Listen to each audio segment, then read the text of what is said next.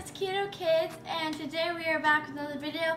Today we are going to be making some chocolate chip muffins. We are in a new setup because we are traveling and we just wanted to um, make some muffins for our road, really long road trip back. So let's get on with the ingredients. Alright, so first you're going to start by taking some almond flour and you're going to pour it, pour it into a mixing bowl. All right, now we're going to get our baking powder. And now we're just going to mix it up. All right, now we're going to melt some butter and I already melted it and I'm just going to pour it into this mixture. And I'm just going to give that a quick stir. All right, now that we have that mixed up, we are going to get our eggs and we're going to pour our eggs inside.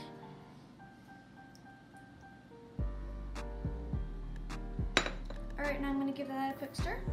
Right, now that we have that mixed, we're going to add in some almond milk.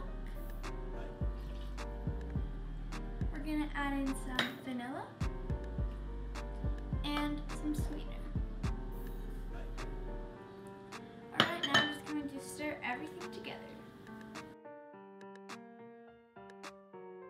Alright, so now I'm going to take about half of these chocolate chips and I'm going to put them in the batter and then the rest we'll leave to put on top.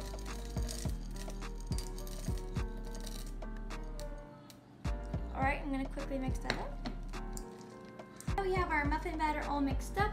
We are going to get a cupcake sheet and we're going to line it with baking cups and then we're going to just scoop some in. Oh, and we're also going to preheat the oven to 355.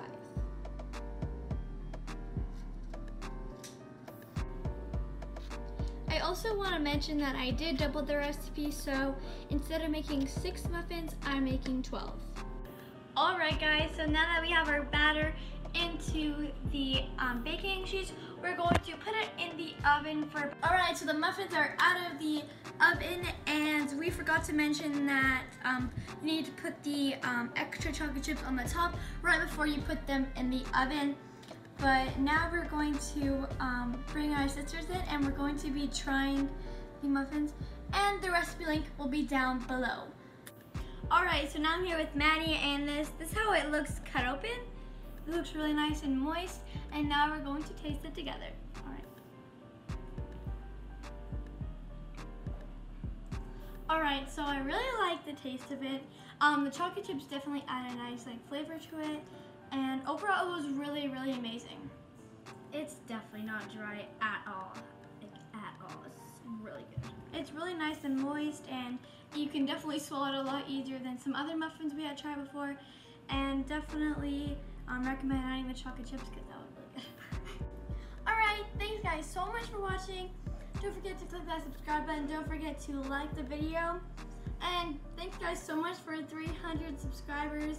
Um, thanks for all your support, and that's all, guys. Bye!